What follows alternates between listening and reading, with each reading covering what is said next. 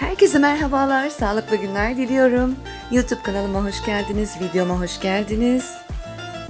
Bugünkü çalışmamız yine kalmış, geri dönüşüme hazır mumlarımızdan dekopaj çalışması yapacağız.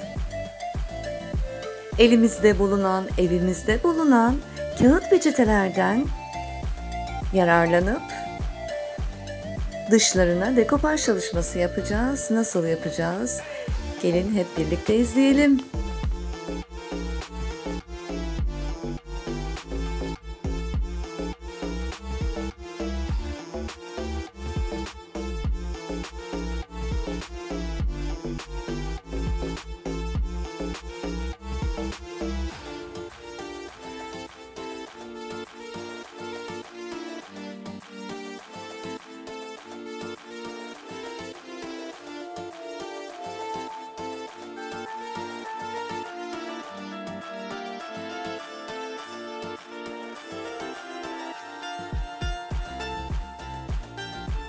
Üzerleri bozuk olan mumlarımızı birazdan dolduracağız arkadaşlar.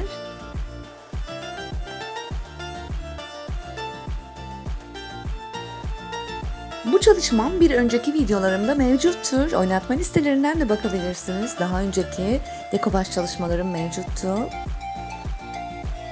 Evet mum yapmaya yeni başlayan arkadaşlar için, mum yapımını merak edenler için, mum yapımını sevenler için tüm ayrıntıları ile, püf noktaları ile kanalımda bütün videolarımı ziyaret edebilirsiniz. Yine farklı içeriklerle hep karşınızda olmaya devam edeceğim. Bu çalışmanın bir yöntemi daha var. Daha önceki videolarımda da mevcut. Bu yapıştırma işlemini fön ile yağlı kağıt ile de yapıyoruz. Merak edenler bakabilir videolarıma. İnanın değişen hiçbir şey olmuyor. Ben iki yöntemini de göstermiştim önceki videolarımda sizlere. Yine fön makinesi kullanıyoruz. Yağlı kağıdı üzerine kapatıyoruz dekopajımızın ve üzerine fön tutuyoruz. O şekilde de yapışıyor. Bu şekilde de hangisi kolayınıza gelirse o şekilde çalışın arkadaşlar. Sadece kağıt peçetemiz 2-3 katlı olduğu için onu tek kata indiriyoruz. Ve baskılı olan kısmı mumumuza yerleştiriyoruz, yapıştırıyoruz.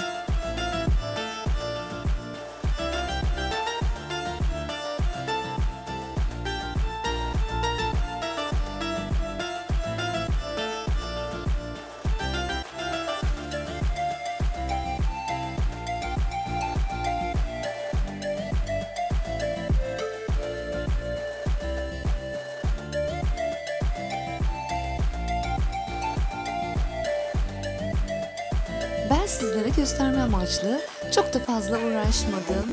Sadece göstermek için birkaç çeşit yapıştırdım farklı farklı. Sizler tamamını aynı modelde, aynı desende kaplayabilirsiniz.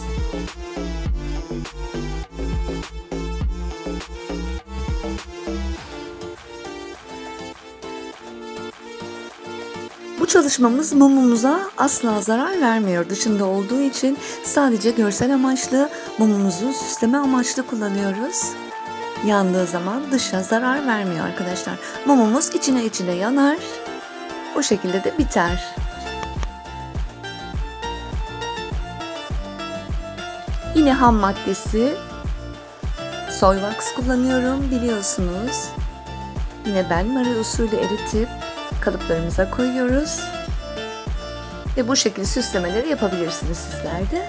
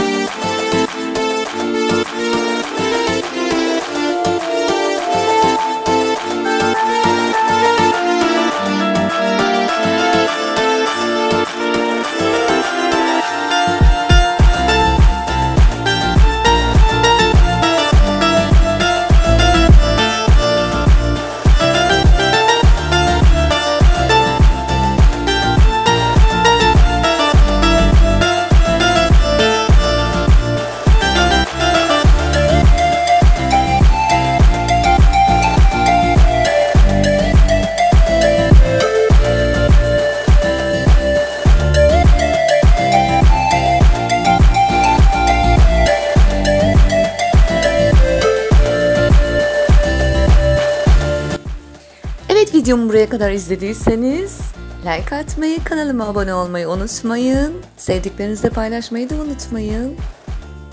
Bir dahaki videolarımda yine farklı içeriklerle görüşmek üzere diyorum.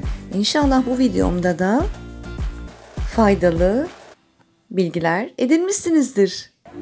Herkese sağlıklı günler diliyorum. Hoşçakalın.